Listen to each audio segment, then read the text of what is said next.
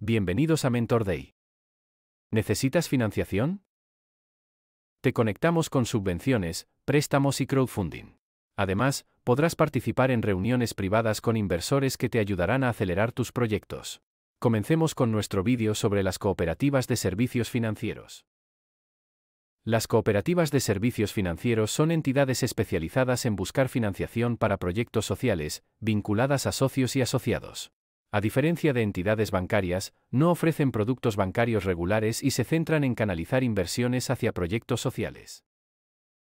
Entre las características podemos destacar que no son entidades bancarias ni están reguladas por el Banco de España y su función principal es localizar inversores dispuestos a financiar proyectos sociales.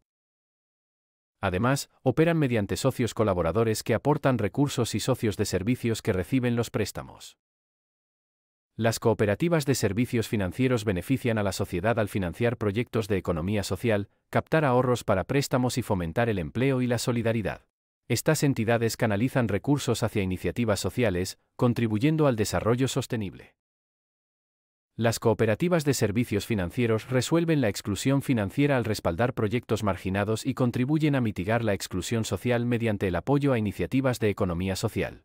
Además, ofrecen una alternativa ética y solidaria a la inversión convencional.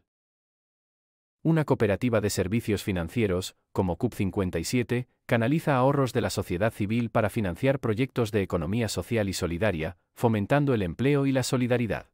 Oicocredit, otra CSF, invierte en proyectos sociales en países en desarrollo, reduciendo la pobreza y promoviendo el desarrollo sostenible. En Mentor Day tenemos un programa de aceleración exclusivo 100% subvencionado. Inscríbete ahora para avanzar tus proyectos al siguiente nivel. El enlace está en la descripción.